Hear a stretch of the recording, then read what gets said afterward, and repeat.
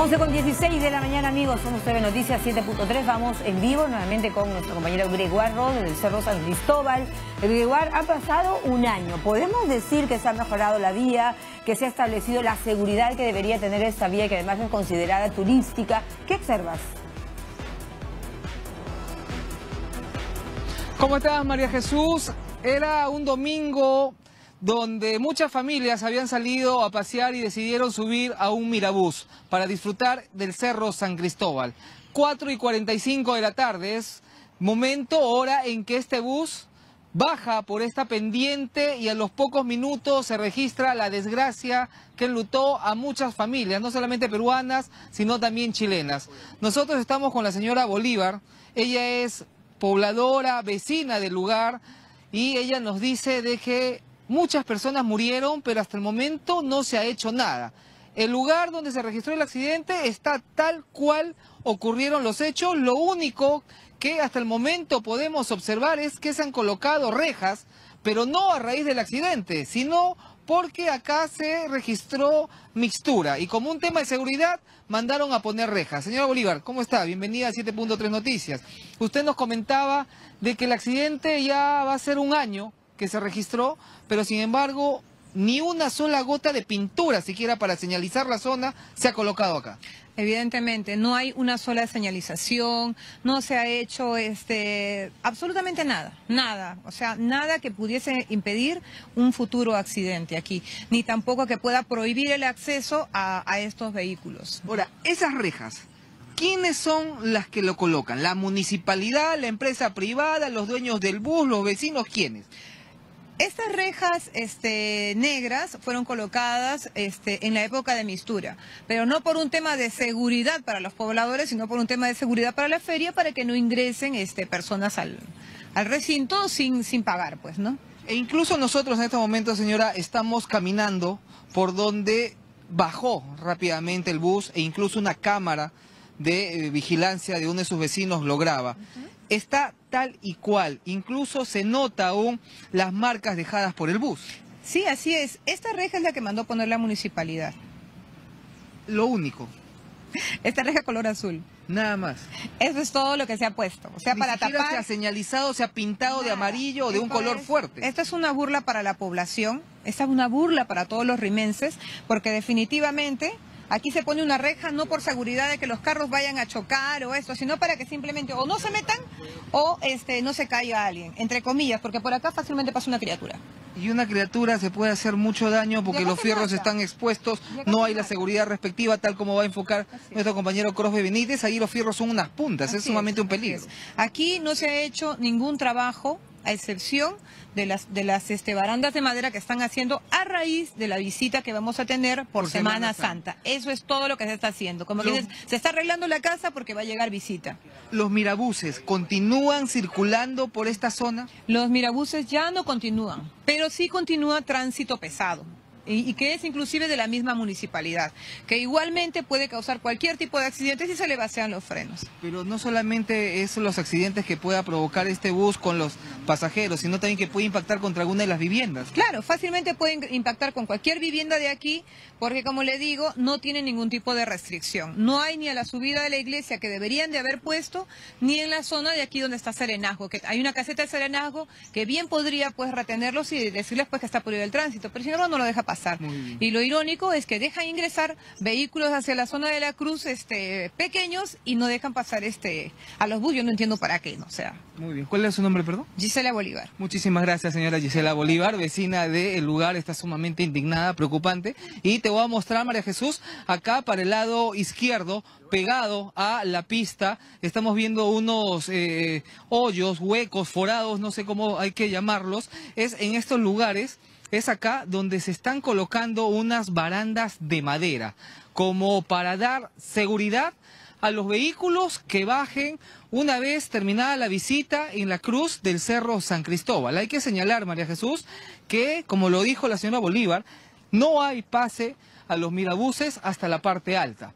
Los turistas llegan hasta un eh, cierto tramo y de ahí tienen que caminar aproximadamente media hora para poder llegar hasta la cruz y poder visitar, tomar foto y ver desde esa parte alta la ciudad de Lima. Están bajando en estos momentos vehículos pequeños, los mototaxis, como estamos observando, y este es el trabajo que viene realizando la municipalidad de Rímac. Están colocando estas maderas, estos troncos, digámoslo así, como para brindar seguridad, María Jesús. Pero es insuficiente, Gregoire. Recordemos que además este punto, ¿no es cierto?, del Cerro San Cristóbal, Gregoire, que dejó, recordemos como 56 heridos y 8 o 9 fallecidos en esa tragedia de la que va a ser un año, se ha considerado que el trayecto, tanto de subida como bajada del cerro, es muy peligroso, por lo cual se requiere reforzar estas barandas que son muy bajas a todas luces, ¿no es cierto? Que era el plan de respuesta, digamos, de la municipalidad. Pero vemos, Gregoire, que nada de esto ha sucedido. Efectivamente, acabamos de ver cómo bajan a velocidad los mototaxis o los toritos, como los llaman. Pero, por ejemplo, esta es la baranda, la original, digámoslo así. Estoy parado, no llega ni a la altura de mi rodilla. Los buses los vehículos que bajan por acá, esto no, digamos, a velocidad no lo va a proteger, no va a evitar, no va a evitar de que pasen al lado donde está esta, este barranco, digámoslo así. Pero según, no sabemos si los ingenieros, algunos especialistas o algunos asesores han determinado que colocando estas maderas, son maderas, supuestamente va a evitar de que si un carro pierde el control e impacta o trata de salirse de la carretera, esto lo va a impedir. Pero recordemos que esta es madera, es frágil, es muy frágil, no es un fierro, no es concreto, sino es una madera que con el impacto, la fuerza y la velocidad puede romperse y producirse una desgracia como lo que se vivió ya el año pasado, un 9 de julio a las 4 y 45 de la tarde, domingo. Era aquel día de la tragedia donde lamentablemente 10 personas perdieron la vida, niños perdieron la vida y lo que decía la vecina, ni siquiera se ha colocado señalización no hay señalización, no hay un letrero que diga disminuya la velocidad, solamente se está colocando estas maderas o estos troncos, María estos troncos de madera, no sé si eso es técnico o antitécnico, en realidad, Gregoire. El otro punto es que por esta misma vía van de subida y de bajada, ¿no es cierto?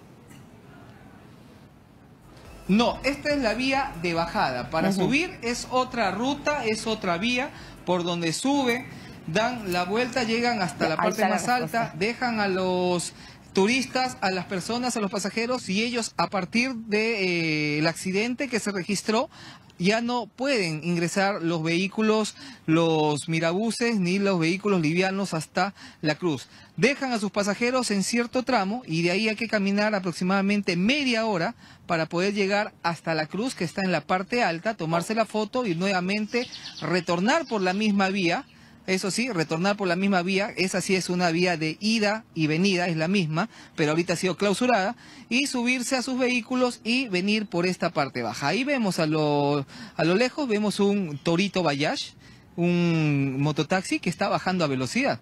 Ese sí está bajando a velocidad. Mira cómo, cómo es lo que bajan. Bajan a velocidad, acá un poco frena porque estamos grabando, y continúan su recorrido. Esta es la situación que se registra no solamente ahorita, sino todos los días y a cada hora acá en lo que es la subida y bajada de hacia lo que es la Cruz San Cristóbal, María Jesús. Claro, eh, lógicamente el atractivo aquí es el mirador, ¿no es cierto? Es considerado un poco el circuito turístico y en Semana Santa hay que tener mucho cuidado. Recién vemos que a casi un año prácticamente se están poniendo estos troncos a lo largo de la vía y lo están haciendo en este momento trabajadores, ¿no? Que tema que debió haber sido subsanado. Recordemos que se habló incluso en la gestión de Susana Villarán de un teleférico que quedó en nada, lamentablemente, Gregoire, precisamente por la peligrosidad de la vía, porque también se señalaba que era una zona de muchos delincuentes, ¿no? No era nada segura, sobre todo en horas de la noche, pero que lamentablemente son promesas que caen en saco roto y que no se concretan para poder garantizar la seguridad de las personas que se dan cita en este punto de la capital del Rosa. Así que el llamado siempre está ahí por parte de 7.3 Noticias para que las autoridades trabajen en los temas que son álgidos para la seguridad de nuestra gente y también de los turistas. No olvidemos que en el accidente de Cerro San Cristóbal había muchos turistas, dos o tres chilenos, había gente de diversos lugares del mundo, ¿no es cierto? Turistas que terminaron heridos como resultado de este accidente aparatoso. ¿No? Así que a un año de Arroz vemos que aquí no pasó nada, no se resuelve la seguridad, la vía, Vamos a volver a utilizar ese recorrido seguramente. Mucha gente va a hacer ese recorrido en Semana Santa también. Pero tome sus precauciones, por favor. Ahí vemos a otro de estos taxis que son vehículos menores, ¿no? En realidad. En fin, Gregoire, gracias por la información en vivo desde este punto, Cerro San Cristóbal.